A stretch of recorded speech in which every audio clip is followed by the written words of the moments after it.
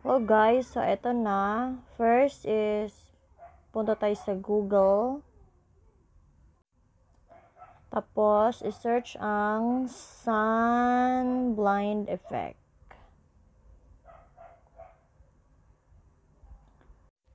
Tapos, hanapin yung yellow na effect. Tapos, long press nyo and download nyo. Download image.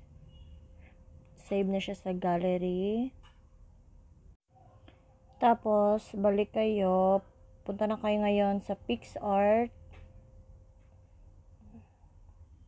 Kung wala pa kayong PixArt, download nyo na PixArt sa Google Play Store.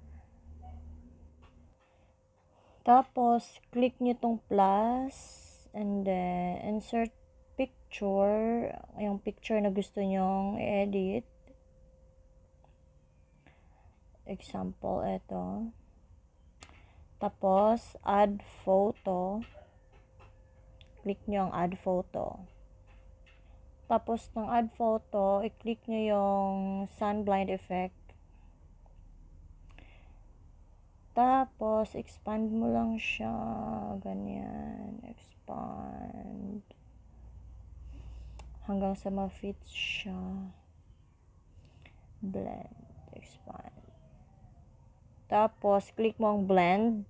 Tapos, multiply. Yun. Tapos, adjust mo lang. Adjust mo. Punta ka sa capacity. Adjust mo ng konti.